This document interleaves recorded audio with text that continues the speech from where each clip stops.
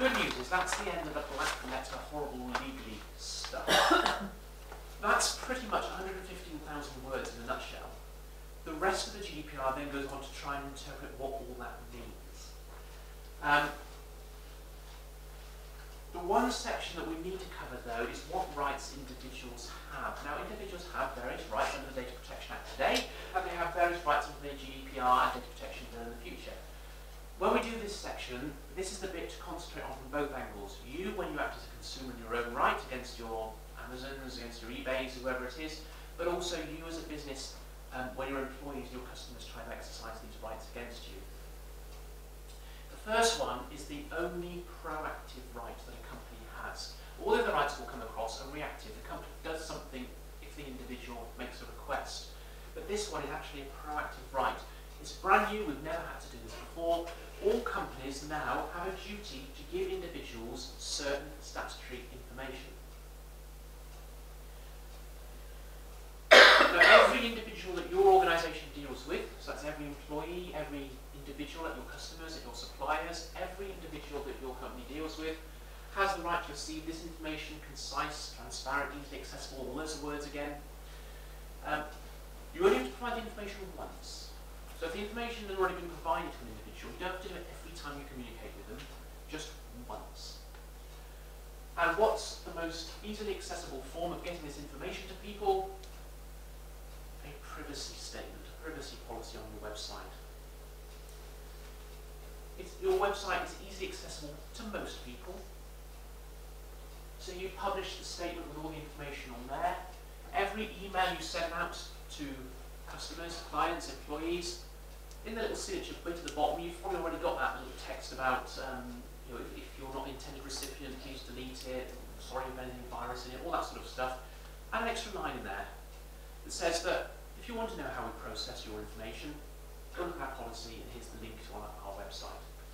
And then every single individual you've, you've ever emailed will then have been told you've got this policy and will go and find it if they want to look at it. The trick is to reduce the likelihood of any individual turning around and saying, well, I didn't know you had this statement. I didn't know how you process my information. And you can turn around and say, look, we've sent you 15 emails in the last six months. Every single one of those made reference to it at the bottom. If you didn't read it, that's your problem. But we've made it easily accessible. We've pointed it out to you. That's probably the best way to do it.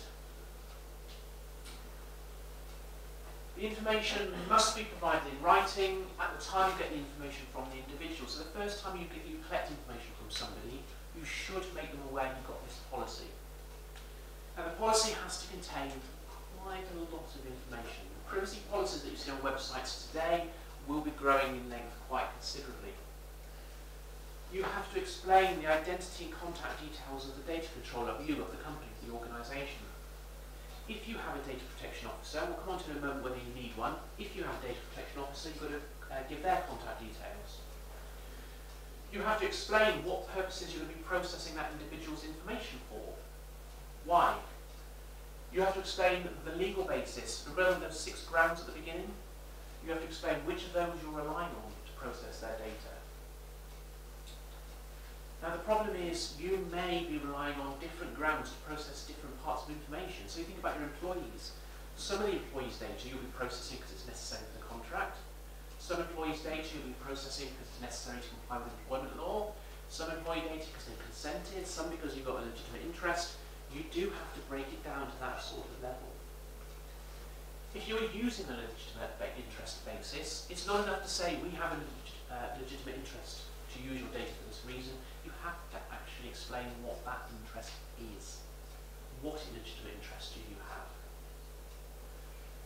Um, one that's caused quite a few problems over the, over the last few weeks, months, you have to actually list actual and potential recipients of the data. To who are you ever going to disclose that person's data?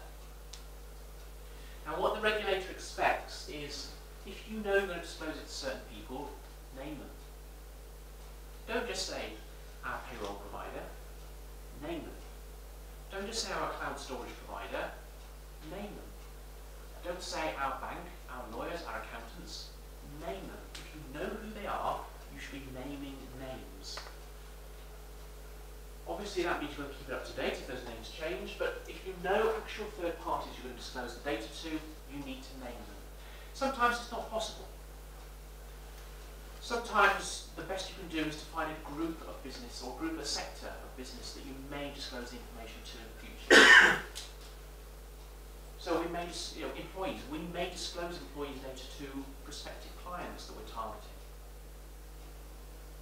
That's fine. If you don't know the details, you can put recipients there, but if you do, you have to name names. You have to explain whether the data is then going to be transferred out of the UK. And if so, what you applying to that transfer to make sure that when you send the data overseas, the data is protected? Now, quite a few businesses turn around and say, well, we didn't have a transfer of data overseas, so I'm going to worry about that. There was a recent study that's, uh, when uh, I think it was four, four and a half thousand businesses, 10% of those four and a half thousand businesses that were interviewed accepted they sent data overseas. When the interviewer delved more deeply, it found that 90% of them were actually doing it. And where most businesses get caught is IT, cloud storage. If you ever store data in the cloud, you can bet your bottom dollar that's not stored in the UK. The chances are it's stored somewhere in Europe now, but it's not stored in the UK. It may be, but the chances are it won't. So you need to identify whether you're transferring data outside the UK. You need to explain to people how long you're going to keep their data for. Yeah, this goes on.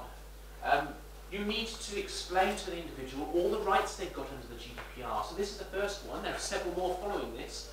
It's not enough that the individuals have those rights. You actually have to tell them they've got the rights. So before we got to the stage in one of the previous lectures, that uh, seminars that I gave, that uh, somebody asked the question, well, are the public ever going to know they've got these rights? Because if they don't know, they're never going to exercise them. Good question. Fair comment. The answer is yes, they will know. Because the media will publish this at the end of May. The media will focus on a couple of the rights, which we'll come to in a moment, not all of them. But actually, every time you collect data from somebody, you have to tell them they've got all these rights. You have to tell them that if they're giving you consent, they can withdraw it at any time. You've already told them that when you collected the consent in the first place, but you've still got to tell them again unless you've already told them once. You actually have to tell them they've got a right to complain about you to the Information Commissioner. Now this came into the law, uh, into the legal board a few years ago. Um, we were told by our regulator we have to tell clients at the outset, so when you first instruct us, um, if you don't like what we're doing, you have the right to complain to the legal ombudsman, and here's his contact details.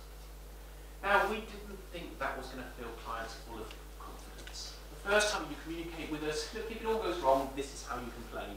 But we've kind of got used to it because we have to do it, we've had to do it for ages. You know, you're going in, into hospital for an operation, you're just about to go out under anaesthetic, and the anaesthetist says, look, all goes wrong, this is how you complain about me. It's not going to you full of confidence, but every business is now going to have to start to do this. If you don't like how we're processing your data, you can complain about it to the ICO, and this is how you do it. You have to explain to the individuals whether the collection of the data is a legal requirement or a contractual requirement. And you have to explain to them the consequences if they don't give you that information. Thankfully, the last one on the list, you have to explain to them if your business engages any automatic decision-making making process. So if you make decisions about individuals based on computer decisions, you have to explain them. So things like credit checking for example, when the credit computer goes back with the credit score and you make a decision based on the score, if you do that sort of thing, you have to explain to individuals that you do that. Interestingly, if you receive data about Fred from George, i.e. not from the individual himself, you also have to explain to him the source where you got the information from. Now, in a properly drafted privacy policy, it's possible to cover all of that off just. It does become quite lengthy, and obviously if you have the same policy for everybody, for employees, for customers, for suppliers, it's going to have to cover a lot. What we're suggesting is having two of. Have one privacy policy for your internal, your employees, your workers, your volunteers, your contractors, all that sort of stuff, because the reasons why you use and store their data will be very different to the reasons why you use and store your customers' data. So have one internal policy, in your employment handbook, have an external policy which goes on the website for the rest of the world. it shortens them both a little bit, makes them a bit more specific. Um, but again, you could draft it to make sure that every individual whose data you process gets all that information. The GDPR actually requires you to do this. So this isn't a, yeah, we should have a privacy policy. This is a, please do get a privacy policy in place. So that's the first one. The rest, as I said, are all very much reactive. You don't, as a business, have to do anything unless an individual asks you to do something. The next one is one we've got at the moment. We've got a right, it's called subject access rights. So any individual has the right to ask a company what information they've got about them to get a copy of that information. That doesn't change. Individuals still have that right. There are some changes though. The first one is that the £10 fee that companies can charge is disappearing. So subject access requests have to be responded to by a company free of charge.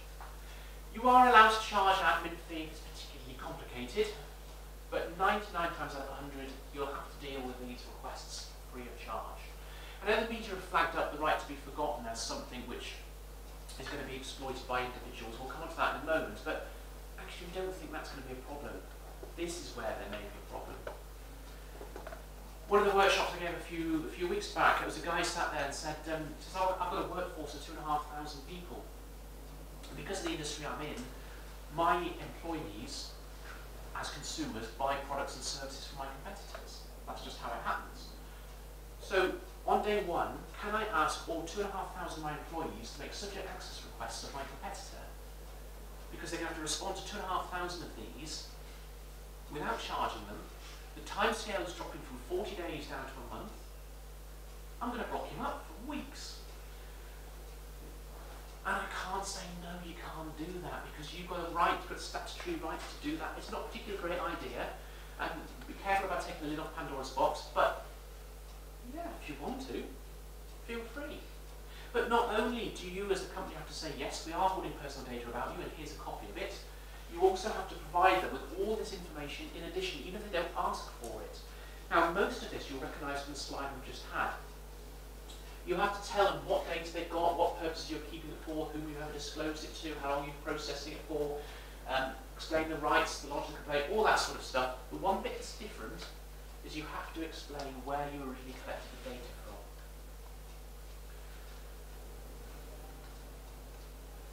Does anybody in the room feel brave enough to say that of all the data you hold in your organisation, you know where it all came from originally?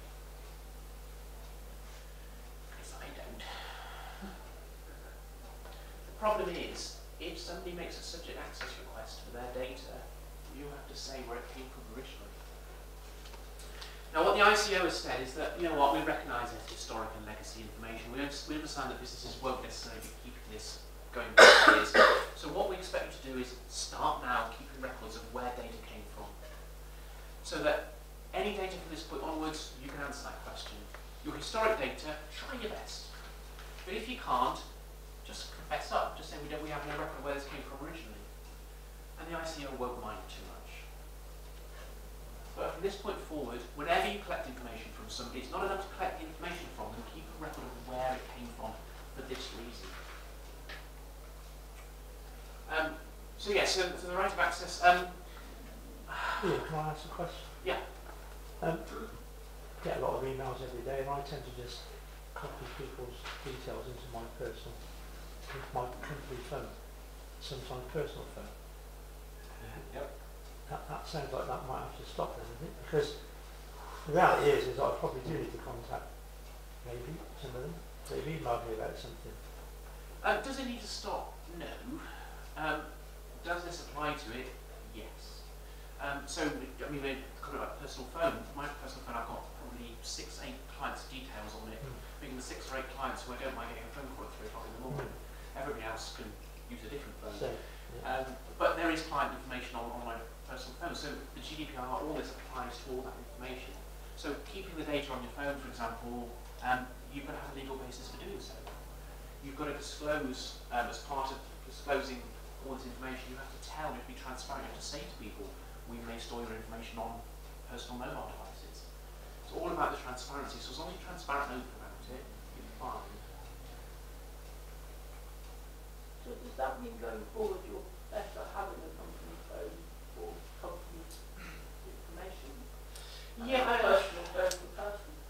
I mean, so it's, it's, it's a lot of yeah. One of the reasons why I'm coming to a moment is um, the need to take appropriate security steps. So if you have two phones, you've doubled the chances of losing one of them, and therefore there being a data breach because of loss of data. So having fewer mobile devices is simply better for that reason. Um, one of the flip sides of having company data on my personal phone is that if I was able to lose my personal phone, my office have the ability to remote wipe my personal phone completely. And that's the flip side of having client information on there. So it's part of the security process. Um, if you had personal and work, then actually your personal phone is completely irrelevant. You might have client details on there, but as long as you're using those details for personal reasons, because sometimes you might, you know, might be friends with some of your customers, um, that's fine. But if, you're, if you've got their details for work purposes, yes, it's probably better to segregate it and keep it on a separate work device. It's not necessary, it's not an absolute requirement, it's probably just sensible. So this is the one we think that's going to start to cause problems. Quick question. In terms of the uh, subject access requests, do you think the ICO will have any like, mystery shoppers that will make these requests and just as a sort of test or? No. And the reason why is because if you catch them on a good day when they're not being recorded and they're not on record, they will turn around and say, you know what, we're underfunded, understaffed, we can't do all of this. Yeah. Um, we're not going to go after every. Every complaint will trigger the process. Complaint trigger a standard letter going out and so on, but we're not going to go to investigate it, let alone proactively go out and enforce this. What we are going to do is concentrate on concentrate on GDPR experts, so law firms and consultants who profess to be experts in this. If they make a cock up, they should know better. We'll go after them. Um, we'll go after the big boys who are doing blatant breaches of this, um, and we'll go after repeat offenders. So if we get 20 complaints about you in a month, we'll follow that up because there's something not right. There is not anywhere near enough staff funding, etc., to start doing that. So yeah, quite categorically. So we're all safe then. We are safe until somebody keeps complaining. Yeah. And let's face it, we all have employees, ex-employees and customers who um, will complain from time to time. Um, one thing I want to stress here is that when somebody exercises this right, they are only entitled to see the personal data that you've got about them. That doesn't mean they get to see every document or email in which their name appears. Um, prime example, one of our clients came to us and said, look, one of our employees slipped down some stairs and they're now suing us for a personal injury related claim. So we commissioned a health and safety report. And now the individuals made an access request to see the health and safety report. We don't want to show them. Why don't you want to show them? Because it's very critical of us. okay. Why is he entitled to see it? Does his name appear throughout it? No, no, his, his name's not mentioned in it. So why is it personal data then? Because the consultant on the first page wrote investigation into the accident by Mr. Smith. So his name appears on the front page. Do we have to disclose it to him? The answer is, well, his personal data is in the report. His name's on the front. So go on, give him the front cover. What about the rest of it? The rest of it's not personal data. Just because his name appears in it doesn't make it personal data. Well, that's good. That's excellent. Just bear in mind that people will use this to try and get their hands on information, documentation, emails that they're not entitled to see. It's only the personal data that they are entitled to, not just because their name appears in a document. How does, how does that relate Well, the succession, okay, so succession plan, what you, I mean, what you can do is simply redact 90% of it, um, which won't be helpful in the slightest, not to the individual, but you are complying because you're giving them a copy of their personal information. Um, if it's a succession plan about that individual, so you've got somebody who's head of a team, you're, you've got a succession plan about them, actually the whole plan then is probably about them and therefore you may have to disclose the whole plan, redacting out potentially some of the names of the other individuals you've mentioned, because you are allowed to uh, redact other people's data, but you might have to disclose the rest of the report.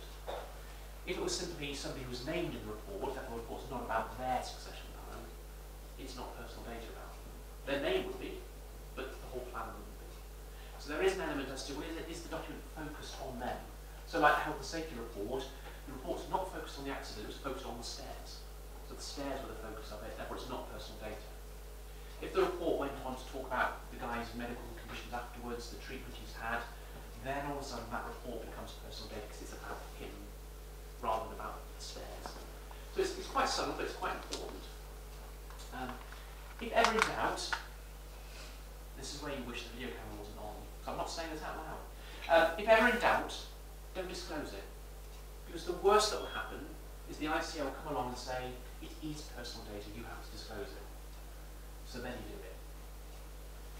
So if in doubt, don't disclose it.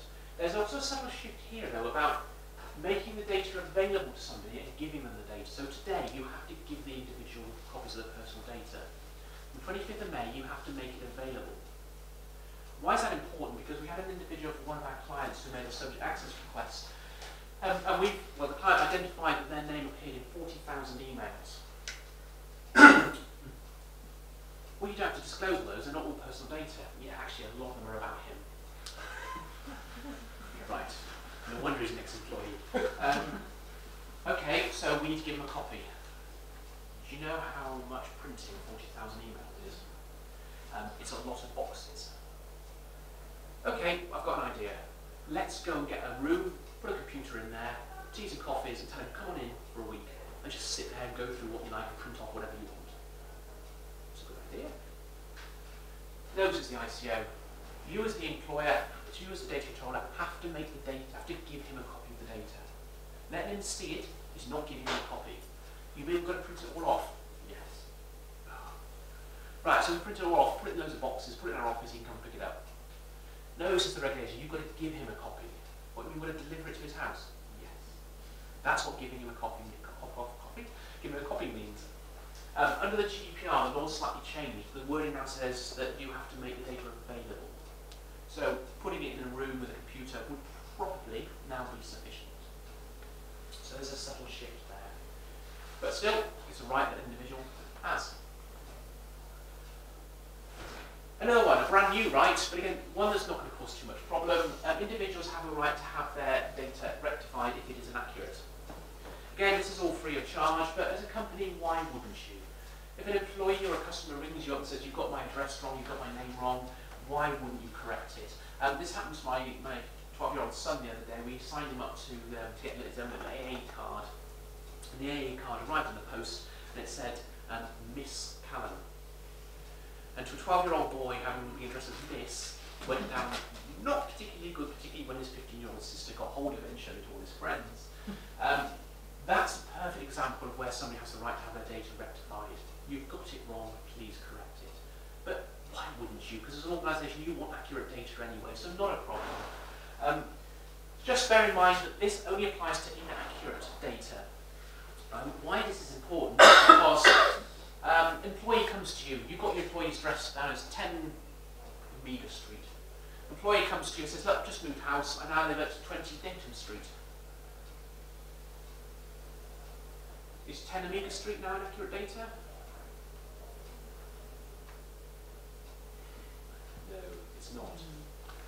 The reason, it's out of date, but it's not inaccurate.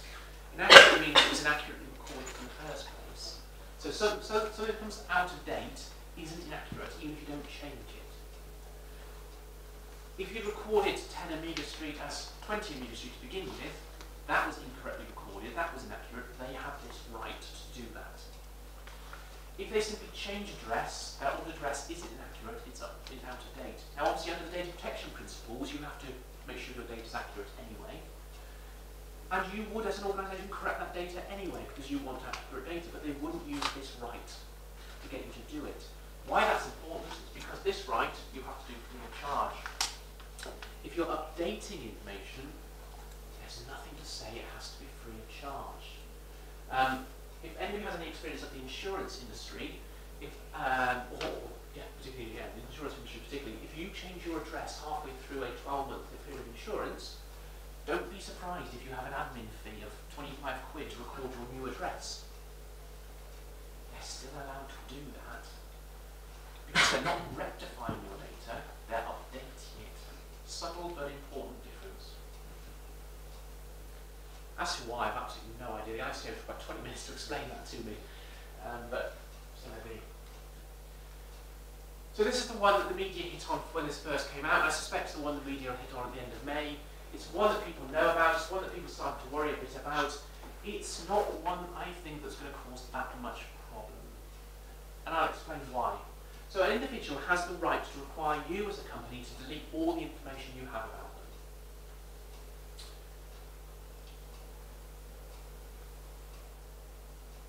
At one of the presentations a few weeks back, um, one guy put his hand up and said, well, if somebody says, delete my data, and I've been mailing you, I delete the data, I've got no record of you asking not to receive the mailings, therefore you might find yourself back on the list shortly, so I'll put you on a suppression list. Okay, what don't you get about deleting their data? But I might market to them again in the future. Okay, fine. But I need to keep a record of the fact they've asked me to delete all that information, otherwise I won't know I've deleted it all. What are you not getting about deleting all their data? If they exercise the right to be forgotten, all the data gets deleted. Okay, that's fine. Well, so I've got to keep no record asked me to delete the data. Um, I won't put on a suppression list. I'll delete all my live systems. Um, but of course, I back up every night. I've got backup tapes going back six months. But I'll never look at them. I'll never use them. What are you not getting about deleting all their data? You have the data on the backup tapes. They've asked you to delete their data. If means I've got to get them out, restore the data, delete it, put it all back. Okay, this is the last time I'm going to say this. What are you not getting about deleting all the data. This is absolute. If somebody asks you to delete the data, you delete the data every single place you've got it, which is why it's important to know where it is. It's on your personal mobile phone, it's in backup, it's in the cloud, or on somebody's hard drive, wherever it is, it gets deleted. Yes, it means you might market to them again in the future. Yes, it means you have no record of them as a customer. Yes, it means you've got no record of them ever exercising this right. Yes, it means that you've got no record of them in backup. But that's exactly what the writers intended to do. The good news is that in many circumstances, a company can turn around and say, no, we're not going to do it. And this is where the saving grace is. The right to be forgotten can only be exercised if one of these four grounds applies. So if you don't need, as the company don't need data anymore, you can delete it. If you don't need the data anymore, why wouldn't you delete it? If you were relying on his consent, and if withdrawn consent and you've got none other of those six legal grounds to rely on, you can delete the data, or you have to delete the data. If the individual exercises his right to object to processing, that's another one we'll come on to in a moment, but if the data's been unlawfully processed, you have to delete it. If one of those four grounds applies, you have to accept the right to be forgotten. If none of those four grounds apply, you can say no. So if you still need the data, you're still using it for a reason, and you've got another legal ground, legitimate interest perhaps, and you're doing it lawfully, you can say no. And we reckon that nine times out of ten, you'll be able to turn around and say no. Largely because um, members of the public will see, I've got the right to be forgotten. They won't see these. So that's part of the trick, is identifying when somebody's making a request, being able to identify whether they're allowed to make the request and saying no when you don't have to comply. But if you do have to say yes, I'm not going to repeat it again, but delete everything. They have a right to restrict processing. So this is slightly subtly different. This is somebody saying, stop doing what you're doing. Not delete all my data, just stop doing it, stop marketing to me, stop doing this my data. If they exercise this right, you're allowed to put it into storage, into backup, into archive. You just stop actively processing it. And they're allowed to exercise this right where they claim the data is inaccurate, processing unlawful, or they're arguing you don't need data anymore. In those circumstances, they can say, rather than deleting everything, stop actively processing my data, in which case you can leave them in backup you can make a record that they've made this request. You can put them on a suppression list. All the things that we talked about that you couldn't do before, you can do if they exercise this right. The problem is, you know the public. The public are not going to send you an email headed up with right to restrict processing under the GDPR. Please stop doing this. They're just not going to do that. What you're going to get are requests on the phone, on the email, that are, that just stop it. Don't do it again. And as the company, your job is to identify which of these rights they're trying to exercise. Not always going to be easy. But a simple email like, don't do that, stop doing it, don't use my data for that reason, need to be identified as requests under the GDPR. So a lot of this comes down to the recognition, the staff training. Those who are at the interface between you and employees, you and the public, need to be able to recognise when people are making these requests because they're not going to be um, um, uh, blatant most of the time. Now remember, all of these rights, the individuals have them all, but you've also got to explain to individuals that they have these rights. They have a right to data portability. This is a brand new one. So this is effectively, you've got their data stored in your system, and they can come to you and say, look, we want that data ported to another provider. Particularly relevant for things like uh, the care industry. So if you're, if you're in a care home, for example, and you want to change, move your medical records from one care home to another, or you're changing GP practice or medical practice, you've got your files, your medical records, and you just want them transferred over. This isn't it a right for an individual to say, I want my records transferred from A to B. This is not a right for the individual to get hold of their records. Um, it's a transfer from one provider to another in machine readable format. So you don't have to print it off and post it and send it over. This is, you know, download it, transmit it electronically to the new provider. It's not going to happen particularly often. Um, you'll know reasonably quickly if you're in the industry where this is going to apply to you, but most it probably won't. Still going, they've got a right to object to processing. Now, what this means is that if they can demonstrate that their rights override your legitimate interest, so you've tried to rely on legitimate interest, but the individual says, you know what, my rights are more important. I didn't have the reasonable expectation of receiving that email from the garage about the credit card.